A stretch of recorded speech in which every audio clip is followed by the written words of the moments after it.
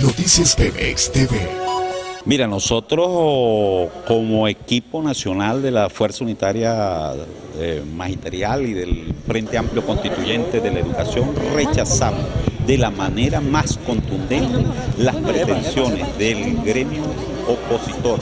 aquí en el Estado Tacha de las federaciones opositoras de pretender realizar hoy una marcha en contra de la discusión de la convención colectiva, porque es una mera manipulación de la información. Porque aquí estamos claros que la discusión de la convención colectiva, única y unitaria de todos los trabajadores y trabajadoras del Ministerio del Poder Popular para la Educación se está realizando de manera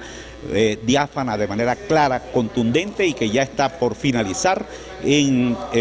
los próximos días. Tanto es así que ya lo que falta por discutir son las cláusulas de carácter eh, reivindicativo, de carácter económico, y que hay una gran disposición del Gobierno Nacional a firmar, repito, en los próximos días la primera convención única de los trabajadores y trabajadoras. Por eso rechazamos las pretensiones de la oposición desde el magisterio y recibiendo órdenes de la mesa de la unidad de pretender que perturbar el normal desarrollo de las actividades escolares en todo el, en todo el, estado Táchira particularmente y por eso nosotros alertamos a todo el magisterio del estado Táchira a que no se dejen manipular porque lo que pretenden estas federaciones opositoras es salir del proceso revolucionario, atacar el proceso revolucionario y valerse de la fortaleza que tienen circunstancialmente en la Asamblea Nacional para perturbar el normal proceso de desarrollo del proceso educativo en todo el país. Eh, puntualmente hay unos plazos establecidos para la discusión de esta.